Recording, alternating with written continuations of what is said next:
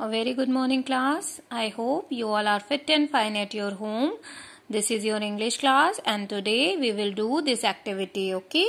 In this activity, you all have to keep these pictures below the respective letters that have the same beginning sound of the pictures, okay?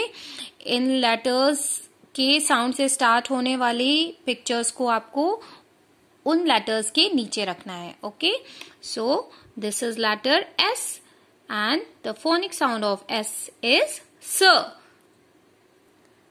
So students, which picture begins with the sound sir? It's sun. Okay? S, sir, sun. Next is T. And the sound of T is T. And which picture begins with the sound T? It's tree. T, t, tree. Okay. Next is U and the phonic sound of U is A. So, we will find out the picture that begins with the sound A. It's umbrella. Umbrella begins with A sound. Next is V and the phonic sound of V is V.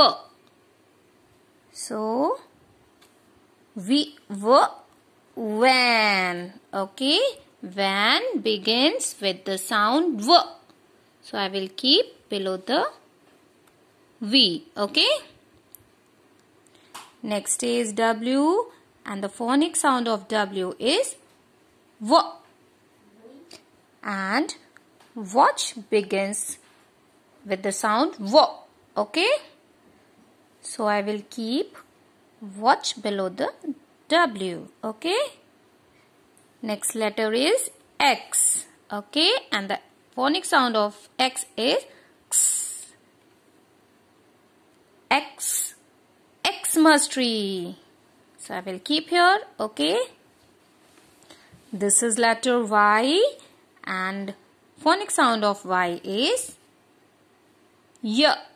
Okay? Y. y, Yarn. Yarn begins with the sound Y. Okay? And the last alphabet is Z. And the phonic sound of Z is Z. And this is zip. Zip begins with the sound Z. Okay, so I will keep here.